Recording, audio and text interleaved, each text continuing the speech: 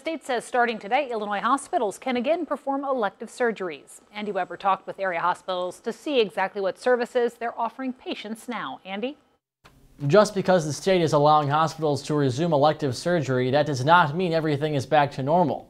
First of all, because of the pandemic shutdown, there is a backlog of surgeries because, as Dr. Mike Cruz with OSF Healthcare explains, a lot of cancellations had to be made. For the entire system, that'd be thousands. But even at St. Francis Medical Center, um, we could be doing 80 procedures a day uh, on any given day. So it doesn't take a whole lot to figure out that over a six week period, uh, that's a substantive volume of work. And because of this, area hospitals such as UnityPoint Methodist are rescheduling surgeries using a set of factors. How essential the surgery is, how much resources does it take, and really the number one thing is does the patient needed right now, or is it essential enough to do it right now? Dr. Sammer Sater says patients will be called by the hospital for rescheduling. Trace Bartley with Advocate BroMenn in Normal says, like many hospitals around the country, patients should expect some new standard practices. We have decided to, uh, you know, test every procedural patient. So anyone that's having a surgery, obviously see a lot, everyone in the hospital wearing wearing masks.